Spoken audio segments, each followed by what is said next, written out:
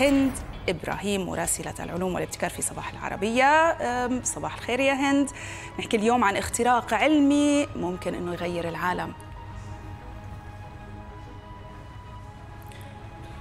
يسعد صباحكم راوية وريم وصباح كل الناس التي ما تزال من دم ولحم.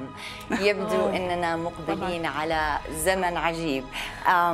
قد لا نحتاج فيه إلى أجسادنا لكي نكون موجودين. زمن تصلح في عبارة أنا أفكر إذا أنا موجود. التقرير التالي أعددناه ومن المفترض أن يعطيكم تصور أفضل. منذ أن فقد جلجامش الأمل لم يحاول أحد البحث مرة أخرى عن عشبة الخلود.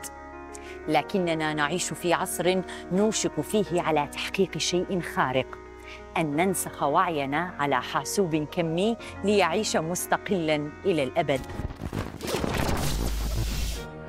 مشوار نقل الوعي من الدماغ إلى الكمبيوتر لا يزال طويلا لكنه بات ممكنا وبحسب العلماء في غضون سنوات فقط سيمكن تحميل نسخة من وعي الإنسان على كمبيوتر كمي. وستظن النسخة أنها أنت حقا. لها كل ذكرياتك ولها كل معرفتك.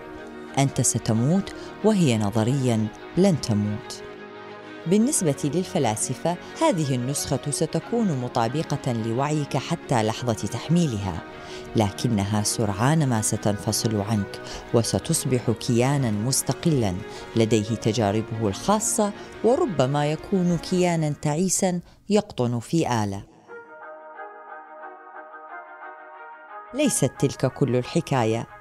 الفيزيائيون يعتقدون أن تلك النسخة منك يمكن أن تسافر إلى أكوان أخرى ويمكن أن تلتقي بنسخ متنوعة منك فيما يعرف بالخاصية الكمية المتشابكة. خاصية معقدة تفسيرها يحتاج لتقارير طويلة. لكن باختصار حياتك لن تكون واحدة في عالم الكم. كل نسخة منك ستعيش كل ما كان يمكن أن تعيشه ولم يتحقق لسبب أو لآخر. أحلامك المنكسرة في هذا الواقع ستصبح حقيقة في كون ما. لصباح العربية هند إبراهيم واشنطن. واو. إذا يبدو أن الأبدية والخلود قد تكون واقع رقميا فقط صح؟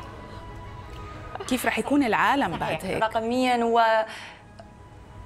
سيكون أغرب من الخيال بالتأكيد. آه طبعا المشوار لا يزال طويل جدا. نحن الآن لا نعرف ما هو الوعي تحديدا آه وليست لدينا صورة كاملة عن خارطة للدماغ. لكن آه في حال أن ننسخ الوعي على كمبيوتر كمي أو على الأقل يعني قبل أن نتوصل إلى استنساخه بشكل كامل النسخة التي ستكون موجودة ستكون أولا نسخة افتراضية لكنها تعيش في العالم في عالم حقيقي بالنسبة لها جدلا تخرج إلى المدينة. الشوارع موجودة الناس موجودة لكن المؤلم أنها لن تشعر بحرارة الشمس مثلا أو طعم القهوة وهذا قد يعني يسبب لها نوع من الحزن. لكن الجميل أنه صداقتك في هذه النسخة قد يعني يسعدها. أنت ستكون عندك القدرة على اللقاء بنفسك عبر آه، تواصل اجتماعي آه، منصات مختلفة. والأغرب والأغرب أنه في حال تحقيق هذه المسألة سيمكن أن نلتقي بأفراد من الأسرة أو أصدقاء قد غادروا الحياة في السابق.